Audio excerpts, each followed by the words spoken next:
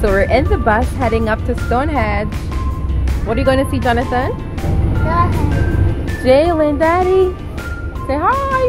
Hi. Mama's in town. You have the option of walking to Stonehenge. If you do, you get to see the burial mounds and earthwork enclosures. So we're walking up to Stonehenge now. Pretty excited to see the new rocks, rocks. There's a lot of mystery behind why it was constructed.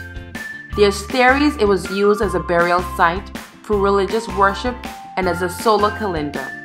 Whatever the purpose may have been, it's truly a wonder of the world. One that we are grateful to experience as a family. Now let's see how the Neolithic people might have lived. This is what a community would have looked like.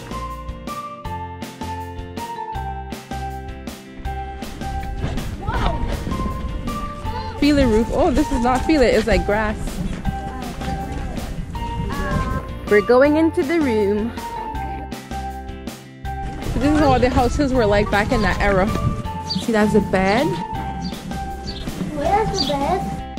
This is what the bed was like. So what does that look like? That's another bed. Yeah, so maybe this is where they had their fire. Look, it's crystal. Oh, it's a stone. Well, that must not be trouble. To us.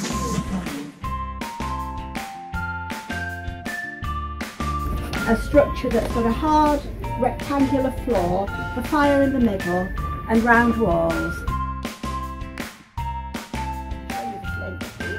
Uh, I was going to show you the flint axe because this was before they before they'd worked out how to make metal. So all their tools had to be made out of flint, which is this stone here.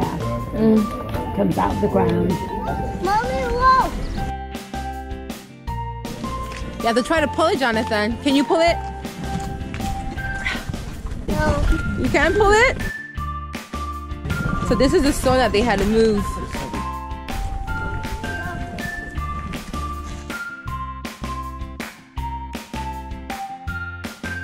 Mommy, are these people when they get a stick?